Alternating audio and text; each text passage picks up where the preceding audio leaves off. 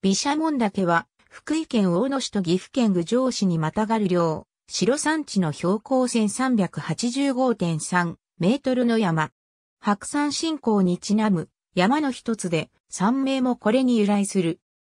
東山六にある長滝白山神社は、白山の三馬場の一つで、美濃禅浄道の起点の馬場として栄えた。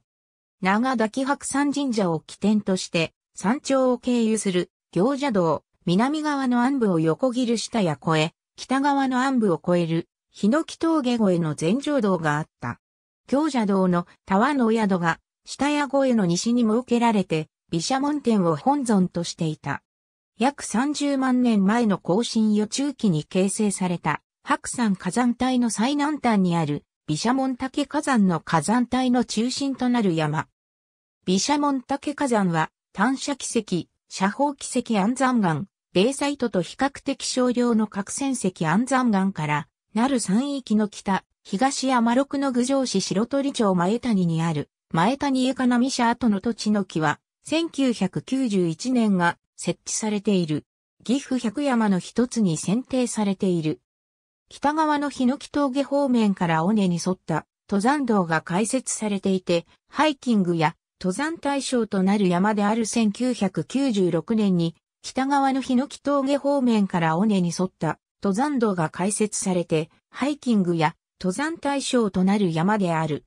山頂からは北側に両資料山地の白山、別山、信芹が竹、大日が竹などの山並み、昼賀の高原、和紙が竹、農郷白山、荒島学などが見渡せる。福井県と岐阜県との県境の両城山地の狩猟線上にある。